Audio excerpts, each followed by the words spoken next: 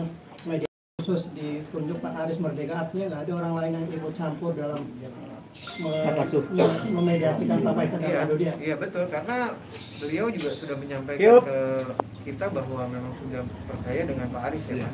Jadi memang kalau misalnya memang ada yang mau membantu silakan, tapi kita sudah percaya sama beliau karena beliau posisinya juga orang netral dan juga ada lembaganya. Ya kami percaya dengan Bang Aris. Insya Allah mungkin bisa membantu kita memediasi ke pihak eh, sana gitu.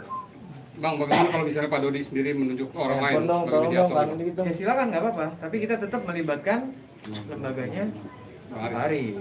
Silakan. Artinya eh, Komnas Perlindungan Anak akan tetap dilibatkan. Betul. Dari tadi kita sudah sepakat sama Pak Faisal bahwa siapa pun pada saat upaya mediasi kita akan melibatkan beliau. Bang Sandi ini kan banyak wacana dari pihak sana mengenai pelaporan hukum ke pihak kepolisian. Bang Sandi sendiri sebagai kuasa hukumnya apa? Oke. Sikapnya apa? Seperti saya sampaikan ke Pak Faisal bahwa eh, kita kalau misalnya memang ada laporan, laporan itu berjalan dan buktinya cukup, saksinya cukup, kita sebagai warga negara hukum, warga negara Indonesia yang menghormati hukum, kita akan mengikuti proses hukum. Tapi di situ pada saat berproses pasti kan ada juga mediasi. Tapi kalau misalnya memang ternyata proses itu berjalan dan memang ada bukti kita siap ya Pak. Kita siap.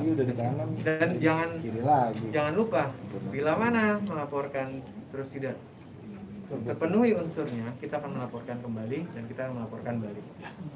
Tapi sejauh ini ada warning